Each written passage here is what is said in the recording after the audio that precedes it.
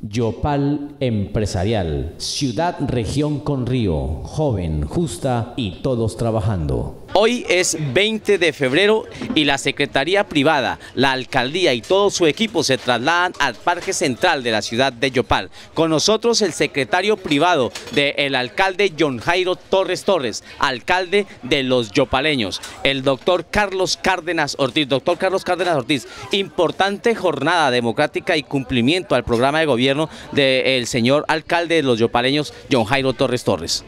Gracias, muy buenos días para todos los televidentes, para todos los yopaleños.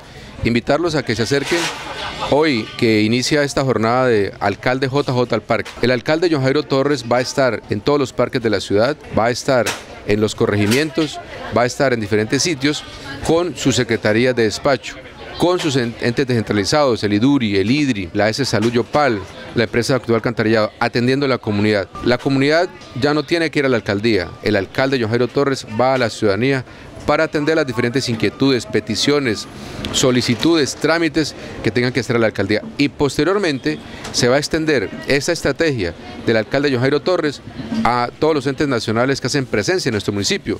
Por ejemplo, la Registraduría Nacional del Estado Civil. Qué bueno que, que también acoja esta invitación y puedan nuestros ciudadanos acudir fácilmente a, acceder a, hacer una copia de su cédula de ciudadanía, una, a un duplicado, perdón, una, a que puedan acceder a la copia del registro civil, porque él ha notado en las visitas que hace, no solamente en la alcaldía, sino en la gobernación, en las entidades nacionales que hacen presencia aquí en Yopal, que hay mucha congestión, que hay muchas filas de personas y eso es lo que él quiere tratar de darle pronta y eficazmente respuesta a la ciudadanía. Qué bueno que el Instituto Colombiano de Estado Familiar haga presencia en estas jornadas, qué bueno que lo haga la Policía Nacional, el Ejército Nacional, para que pueda ayudar a definir rápidamente la situación militar de nuestros yopaleños. Qué bueno que venga también el Invías para que dé a conocer lo que está haciendo aquí en Yopal en su competencia.